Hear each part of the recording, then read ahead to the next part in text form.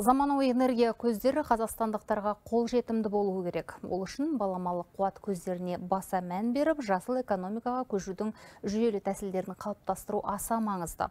Бұл туралы Сенат төрағасы Мәулен Әшімбаев орнықты даму саласындағы ұлттық мақсат міндеттердің іске асырылуына мониторинг жүргізу жөніндегі парламенттік комиссияның төртінші отырысында айтты. Тозығы жеткен электр желілеріне тоқталып, әріптестерін ортақ мақсаттарға жету жолында күш жұмылдыруға шақырды.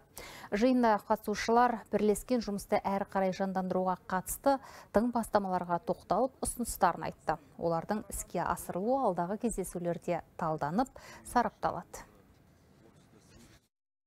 Электр энергиясын өндіруге, генерацияға ауқымды инвестиция қажет.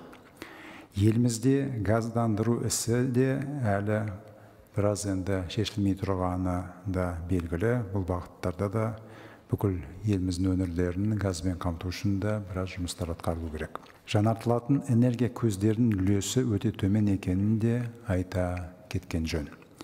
Мемлекет басшысы атап өткендей жасыл экономиканы дамыту еліміздің қазіргі күн тәртібіндегі негізгі басымдық болуы қажет. Осы мақсатқа қол жеткізуге ықпал ету депутаттық корпустың негізгі міндеттерінің бірі.